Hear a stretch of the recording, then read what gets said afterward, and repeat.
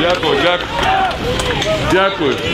Я хочу вас всіх подякувати, що незважаючи на дуже погану погоду і на те, що світа, вони ж то всі зараз відпочивають, хто на Мальдівах, ці всі прокурори, очільники, хто там в інших е, Таїландах, Е, а, а ви тут. Справжня Україна тут. І доїхати не всі можуть до апеляційного суду, але те, що ви приїхали, для мене це, ну, я поки подяки, мене нічого вам нема що сказати. Реально, я дуже хвилююсь, коли вас на вас дивлюсь і вас бачу. Це перше. Дара- Друге, вони ще один раз відклали цей процес. Вони це тільки означає того, що справи в них немає. Але що було дуже важливо? В один той же день вони призначили три суда.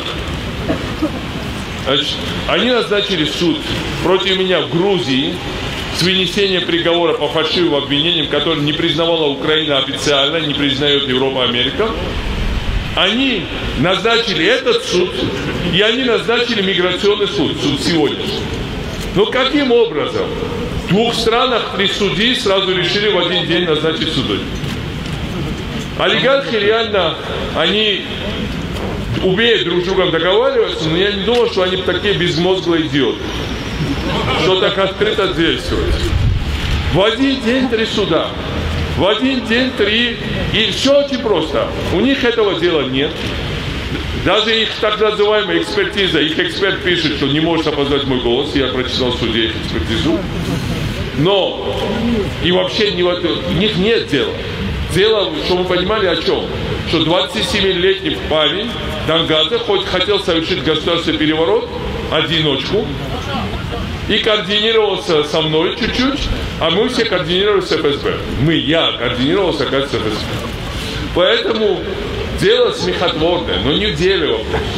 Они заодно делают дело Грузии, и они хотят создать ситуацию, когда меня можно будет здесь по миграции отказать в пребывании в Украине и потом депортировать или экстрадировать в Грузию, где они надеются, что я надолго, ну, на какое-то время оставлю их в покое, я не буду больше говорить правду внутри Украины. Вот и вся история. Поэтому при такой истории только единство, активность народа нам что-то даст. И я сегодня сказал, пусть все оппозиционные силы, я не хочу, чтобы все говорили, вот Саакашвили, там это самое, это Михо Майдан, никакого Михо Майдана. Все соберутся, все сядут, ведут диалог, все назначат вместе и, и даты, и акции, и мы будем только рады единству оппозиционных сил. Чтобы не думали, что мы там что-то перехватываем, мы на себя какой-то отдел, я, я всегда впереди. Я на себя приму канал главный удар, я принимаю на себя главный удар. Но давайте пусть они тоже подтягиваются. Потому что так не поведет. Вся- Каждый по, поодиночке. А видите, олигархи как вместе действуют. Они, у них все четко расписано.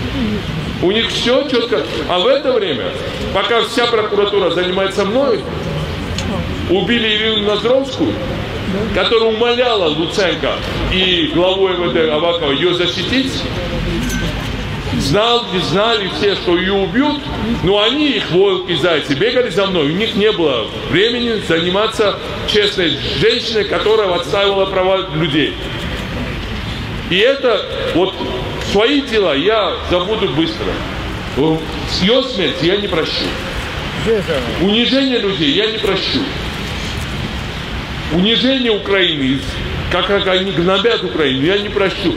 Я, конечно, всех вас поздравляю с Новым годом, но никогда я не помню в Киеве, а я много новых, багато новых років бывал в Киеве. Такого непраздничного Киева я не помню. Потому что людям просто тяжело. Элементарных вещей нет. И просто нет праздничного настроя. У них-то есть, они все уехали. А кто остался, у них нет настроя. І так не можна, щоб продовжалось. Так? Тому я дуже вам вдячний. Я реально вважаю, що це, ну, це чергова наша перемога, те, що відбулося сьогодні суду. Чому? Тому що ну, вони дуже хочуть мене посадити, як мінімум під домашній арешт, але коли вони дивляться на вас на, на людей, на кількість камер в залі, на присутність е, представників Посольства Сполучених Штатів та Євросоюзу, вони ще один ну, черговий раз вирішили не испытывать наше терпение и сегодня ничего не принимать, чтобы не принять на себя удар народа.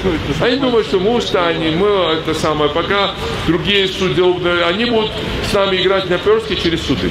Вот и вся история. Поэтому я хочу вас призвать э, бдительности еще раз сильно-сильно поблагодарить. Спасибо огромное. Дякую. Спасибо, Миша.